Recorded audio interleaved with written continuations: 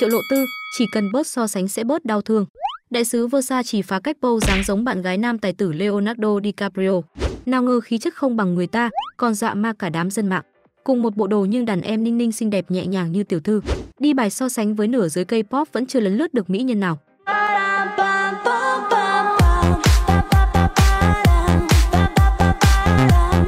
Chỉ cần khoe sắc nhẹ nhàng, bớt so sánh ké phim là Triệu Lộ Tư được khen liền.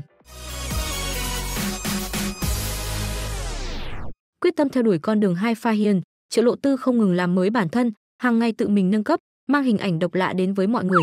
Trước cô chỉ dừng ở mức khoe sắc xinh đẹp ngọt ngào, còn từ ngày được Versace chỉ nâng niu, Triệu Lộ Tư đã bắt đầu phá cách hơn, lên đầu hiệu cực sang, như là sang chấn tâm lý.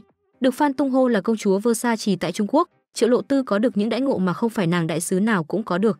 Nào là hình ảnh răng khắp hang cùng ngõ hẻm, nào là những bộ đồ sang chảnh, những sự kiện cao cấp giúp hình ảnh của Triệu Lộ Tư được quảng bá hết mức. Mặc dù danh tiếng không ngừng tăng cao nhờ làm đại sứ cho brand cao cấp, song Triệu Lộ Tư lâu lâu vẫn phải ké phêm vài người khác.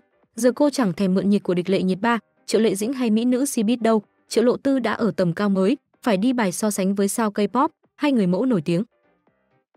Gần nhất, trong bộ ảnh mới của Versace, Triệu Lộ Tư làm người xem được fan hú hồn khi khoe lớp make up đậm lè, đôi mắt kẻ đậm cùng pha pâu dáng lấp ló nơi vách tường.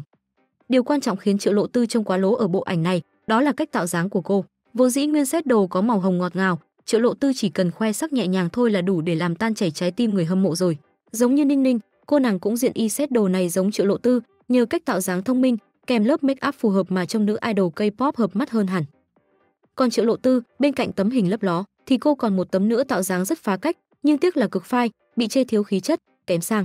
Một số cư dân mạng còn phát hiện ra nữ diễn viên đã học hỏi cách tạo dáng từ nữ người mẫu Victoria Ceretti. Được biết, Victoria Ceretti là bạn gái của nam tài tử Titanic Leonardo DiCaprio.